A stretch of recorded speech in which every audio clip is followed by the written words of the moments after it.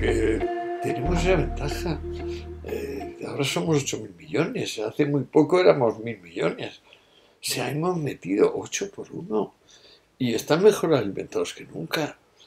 Ahora de repente pasan, como el otro día decía, a los Huaru estos de Indonesia, que de repente les toca a todos 23 mil dólares de renta y se hacen monstruos obesos que no se pueden ni mover. Y claro, de repente pasan de tener una edad media de 60 años a tener una media de 30, porque en ese plan es muy mórbido, la vida dura muy poco. ¿Cómo te puedes hacer daño? El número de personas que están muriendo de obesidad ahora mismo en el mundo y las que, digamos, una mínima proyección razonable anticipa, porque si eso está en aumento, es evidente. O sea, tú ves las películas de los años 40 y los policías no son estas bolas que son ahora en las pelis americanas. Yo me quedo alucinado, sobre todo los, de la DEA. De los donuts. Los de la DEA. Estas pelis de eh, lucha contra los narcos y tal. Esos tíos son unas bolas pero vamos unas proporciones muy grandes, cuatro de cada cinco, cosas así, o tres de cada cinco. Esto jamás se ha visto. Y eso es primero porque puede.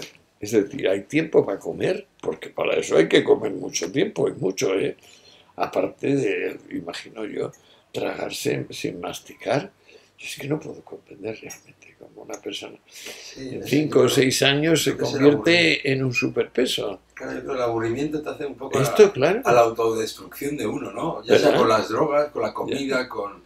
Ya, pero todos hemos pasado etapas difíciles. Yo no he sufrido mucho de depresión, pero sí he pasado dificultades. Tú, por ejemplo, mis hijos, mi padre, conozco personas, digamos, emocionalmente muy sensibles, a quienes les afecta mucho en los cambios del ambiente y que claro, pues muchas veces se agobian muchísimo y lo pasan muy mal y se, trances largos de ansiedad, intensos, de angustia, de casi ahogarse de, lo difícil que se les pone el mundo, ¿no?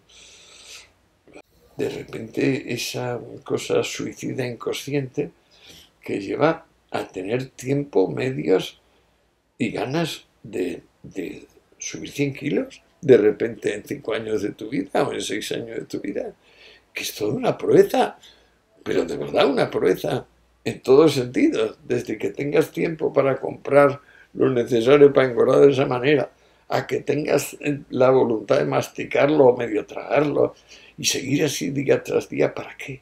Para combatir la ansiedad, la angustia. Pues probablemente. Pues probablemente no tengas una, digamos, un metabolismo muy bueno que te vaya permitiendo desasimilar. En cuanto te pongas a asimilar, ya te quieres dar cuenta y no te puedes levantar de donde estás. Ya no te puedes levantar de la cama o de la silla porque pesas demasiado. La hermana gravedad empieza a dar señales en todas direcciones.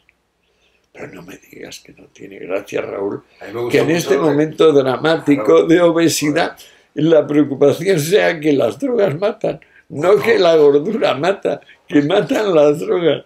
¡Qué risa! me pareció brutal el ejemplo que dijiste de gordo por fuera y, y, y ah, sí, por sí, vacío, ¿no? es, que es, así la realidad, o sea, creo yo, ¿no? Es un vacío por dentro, lleno por fuera. Exacto, es eso, ¿no? Un poco de acumular, el sentido del, hombre de quiere acumular y guardar y tener y a veces no queremos. Eso no parece que lo llaman diabetes mellitus tipo B eh, o por lo menos así lo llama un, antropólogo llamado Jared Diamond, eh, y me ha dejado alucinado, porque digamos que se trata de un cuadro clínico concreto. es decir, que las personas de repente van y se lanzan ahí. Antes que se lanzaba uno de un millar, ahora se están lanzando a lo mejor 500 de, de un millar. Esto es un cambio colosal. Eh, ¿Qué coño va a pasar? Pues lo más gracioso para empezar es que no, evita las drogas. Y nadie habla de, pero por Dios, no comas más de lo que necesitas. O sea, no lleves por la boca eh, las ansiedades que corresponden al espíritu. Ventílalas espiritualmente.